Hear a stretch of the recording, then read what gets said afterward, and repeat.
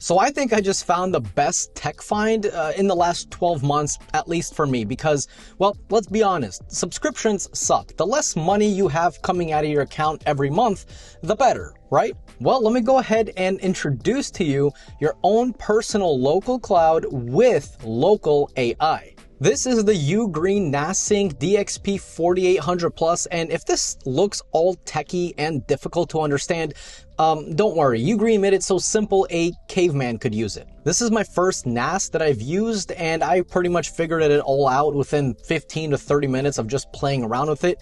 This truly is beginner friendly. When Ugreen says that, they actually mean it. And you know, I apologize in advance for any terminology I may get wrong. I'm a newbie when it comes to NAS and stuff like that, so I may get some words wrong, but you'll you'll understand the context of what I'm trying to say. So what exactly is a NAS? Well, NAS is network attached storage. So you can think of it as a really large external hard drive that you could use anywhere in the world, no matter where you are, as long as you have internet. Ugreen was awesome enough to send me this NAS, including four 4 terabyte drives, but I actually ended up liking this NAS so much that I actually went out and bought four 14 terabyte drives and a 1 terabyte SSD for caching. Yeah, that did burn a small hole in my wallet, but that amount of storage will easily outlast me and this tortoise. They live forever. That's why I made that weird comparison. Anyway, moving on. So who exactly is this for and why should you even consider it? Well, if you're like me, you probably have Google Drive, iCloud, Dropbox, and any of the other hundreds of cloud-based storages. In fact, I recently had to upgrade my iCloud account because my Final Cut Pro projects were getting too big to the point where I had to completely wipe my computer from my projects every month just so I can have a clean slate and don't run out of space. That's why I upgraded to iCloud $20 a month. And I was also paying for Google Drive $20 a month. That's 40 bucks just in storage. Those cloud-based services are pretty much using something like this, uh, but just a lot bigger, like a lot, a lot bigger, right? They have entire server farms. And so what you're doing essentially is anytime you subscribe to iCloud or Google Drive, you're essentially just renting out their own NAS in other words, right? You know, you know what I mean. That, of course, adds up cost over time the longer you use it. I've been using Google Drive for seven years, going on eight years. Uh, I've spent a lot of money on it. I, I, I agree. Uh, but not only does it add up cost over time, but it's also not exactly secure. Uh, we've seen this before. Yeah, that was rough.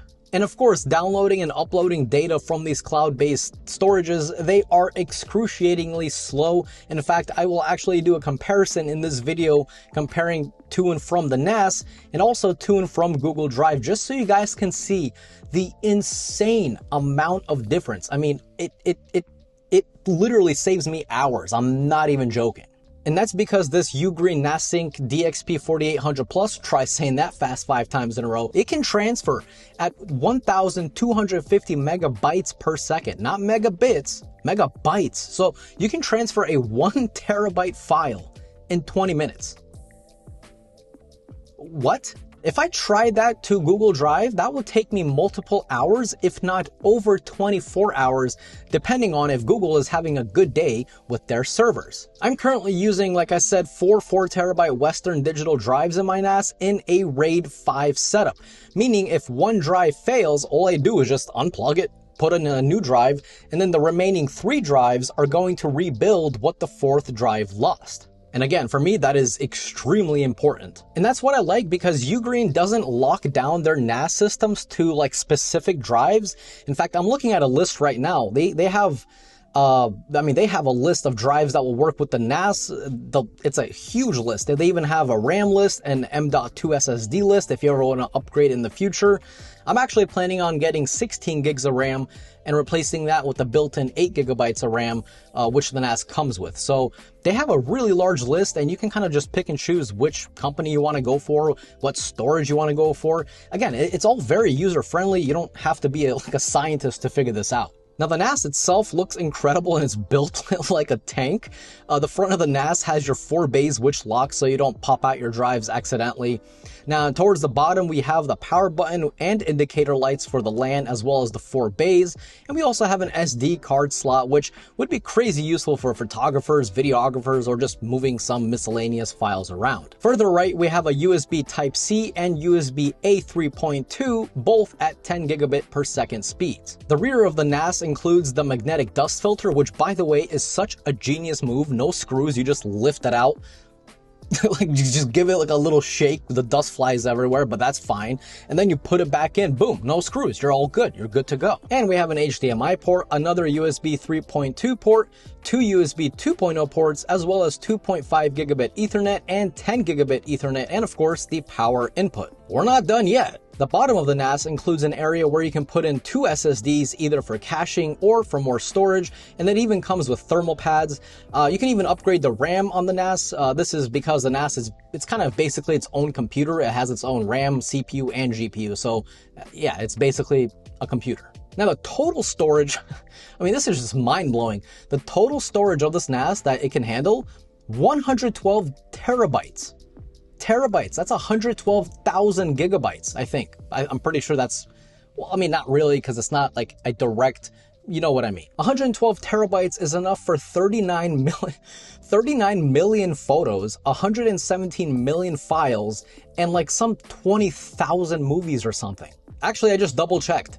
76,000 movies. I don't even know that many movies. I don't even think anyone in my entire lineage going back has seen that many movies and going forward for the next hundred years.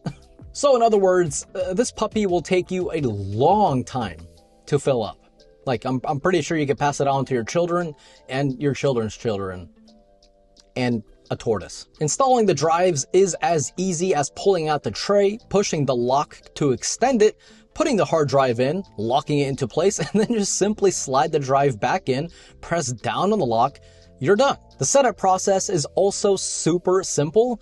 Once you connect your NAS to your router via ethernet, you go to find.ugnas.com and it will automatically find the NAS on your network. From then, you just create your username, your password. It'll ask you to create a uh, storage pool and storage space. So, in other words, do you want all four drives to be one huge storage, or do you, for example, want to use three drives as one large storage and the fourth drive as its own separate storage? Then it'll ask which RAID you want to use. Like I mentioned earlier, I am using RAID 5, and afterwards, it'll ask you how much storage you want to use for that pool. That's it. No, I mean, seriously, that's it. You've now set up your NAS and it's totally ready to be used anytime, anywhere. To access your NAS, you can either download the Ugreen NAS app on Windows, Mac, iOS, and Android, or you can easily access it through a web browser by going on the app, clicking on Control Panel, Device Connections, Ugreen Link Remote Access, and you'll see your web client, which you can now copy.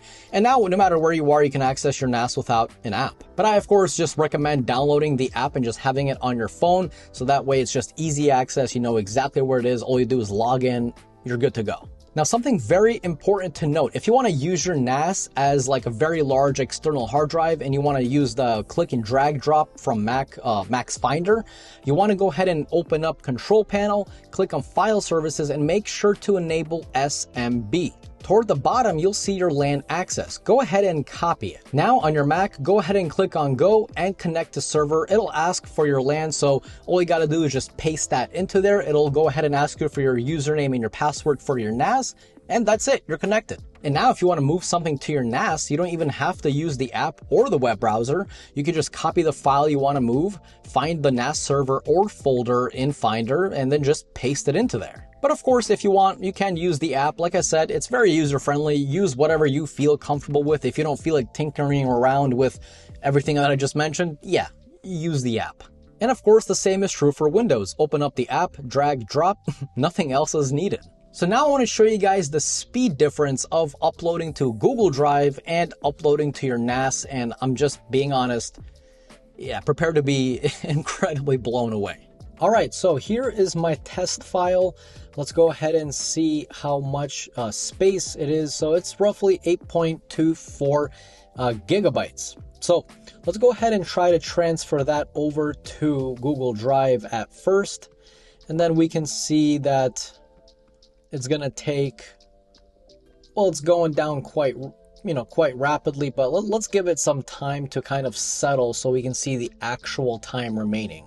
So we can see that it kind of settled around an hour and six minutes. It might go down to an hour and five. Oh, actually, it went up. oh, something's.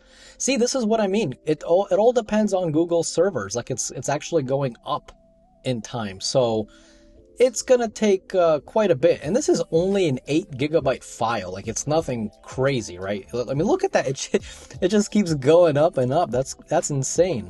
We're approaching the two hour mark. So um, that's quite fun. So let me go ahead and cancel the upload, and then we're gonna go ahead and try to copy that file on over to my NAS. So click drop. By the way, uh, this is my personal folder. I pinned it to my favorites. So this is on my NAS. Obviously, you can see the terabytes remaining. Let's go ahead and drop it. And then you, yeah, so there we go. Less than a minute remaining. 8.24 gigabytes. Um, so I don't know. You guys tell me which do you prefer? Do you want to wait over two hours to upload eight gigs, or do you want to wait about 10 seconds? I mean, the choice is um, it's quite simple for me. Now, remember in the beginning of the video, I mentioned that this NAS has local AI? Well, let's say you want to cancel your Google Photos, which is exactly what I did because I have like unlimited storage sitting a foot away from me. Well, if you upload all your Google Photos into the NAS, you can still kind of search through your photos with AI similar to how Google does it. Want to find photos with cars? Just type in automobile. Want to find a specific person in your photos? Yeah, you can do that too.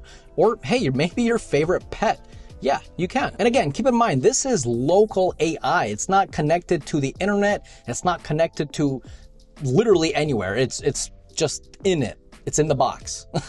Could you guys tell that I'm not really like advanced in this stuff? But that's that's the point. If I can do it, you can do it. Oh, by the way, another pro tip for you guys. If you want your phone to back up photos and videos from your camera roll to your NAS like right after you've taken them, super easy. Open up the app. You'll see uh, sync and backup right there. You want to go ahead and click on it, backup photos, turn it on. That's it. Like it's it's like like I said, super user friendly. I honestly don't know why I didn't look into NAS systems before.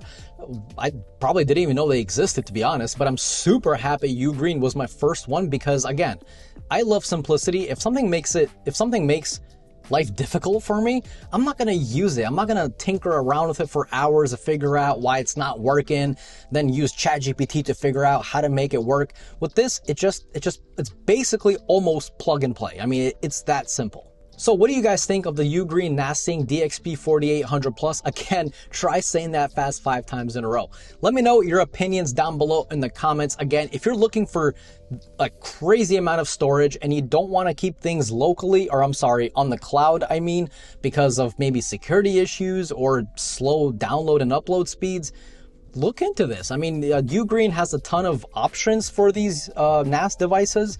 They have a two bay, a four bay, I believe a six bay, I think, and I know for sure they have an eight bay. So, I mean, dude, storage until the end of the world. Now, if you guys want, I will have a link down below that'll save you 15% if you do choose to buy one of these. So, yeah, don't miss out. Hopefully you guys enjoyed today's video. If you have any questions, by the way, on this NAS, please ask me because I am actually using this. I'm not just doing this for the review and then just selling it off. No, I spent a lot of money on drives and um, I'm, I'm getting my money's worth.